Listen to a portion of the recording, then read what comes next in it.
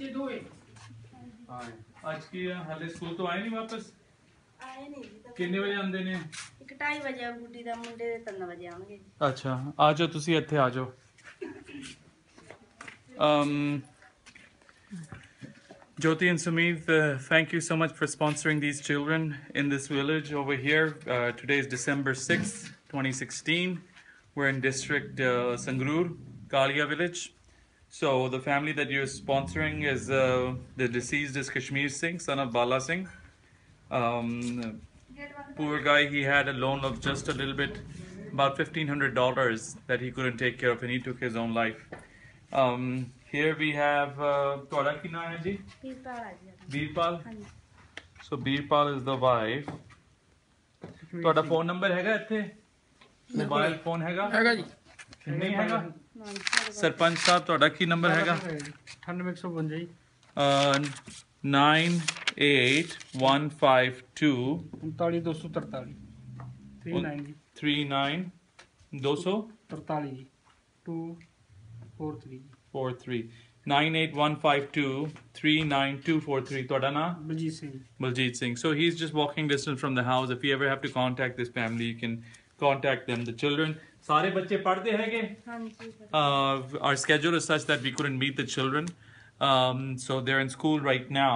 ਸਭ ਤੋਂ ਵੱਡੀ ਮਨਪ੍ਰੀਤ ਹੈ ਕੀ ਉਮਰ ਹੈ ਮਨਪ੍ਰੀਤ ਦੀ ਹੁਣ ਹਾਂਜੀ ਮਨਪ੍ਰੀਤ 16 ਕੁ ਸਾਲਾਂ ਦੀ ਹੈ ਜੀ ਹੁਣ 16 ਸਾਲਾਂ ਦੀ ਹੈ which is they always say is the age plus 1 so it's she's 15 ਕਿੰਨਵੀਂ ਚ ਪੜ੍ਹਦੀ ਹੈ ਹੁਣ 11ਵੀਂ ਚ ਪੜ੍ਹਦੀ 11ਵੀਂ ਚ ਹਾਂਜੀ ਤੇ ਫਿਰ uh, ਵਿਕਰਮਜੀਤ ਗੁਰ- ਗੁਰਪ੍ਰੀਤ ਹੈ ਜੀ। ਵਿਕਰਮੀ ਹੈ ਗੁਰਪ੍ਰੀਤ ਆਈ ਦੂਜੇ ਦੂਜਾ ਕੋ ਗੁਰਪ੍ਰੀਤ ਹੈ? ਹਾਂਜੀ। ਹਾਂਜੀ ਉਹ ਕਿੰਨੇ ਸਾਲ ਦਾ ਹੈ? 13 ਸਾਲ ਦਾ ਜੀ। 13 7ਵੀਂ ਆ ਰਹੀ ਮੇਰੇ ਅੱਛਾ ਸੱਤਵੀਂ। 7ਵੀਂ ਚ ਪੜ੍ਹਦਾ ਜੀ। ਅੱਛਾ ਤੇ ਫਿਰ ਉਹਦੇ ਬਾਅਦ ਵਿਕਰਮਜੀਤ ਇਹ ਹੈ ਹਾਂਜੀ। ਇਹ 12 ਸਾਲ ਦਾ ਜੀ। ਇਹ ਕਿਹੜੀ ਕਲਾਸ ਪੜ੍ਹਦਾ ਉਹ ਕਿੰਨੀ ਚ ਛੇਵੀਂ ਚ। ਹੈ ਜੀ। 6ਵੀਂ ਚ ਤੇ ਉਹਦੇ ਬਾਅਦ? ਬਸ ਤਿੰਨ ਬੱਚੇ। ਬਸ ਤਿੰਨ ਬੱਚੇ। ਇਹ ਨੰਬਰ ਲਿਖ ਲਓ ਇਹਨਾਂ ਦਾ ਜੀ। ਇਹ ਕੀ ਹੈ? ਨੰਬਰ ਹੈ 98762 715053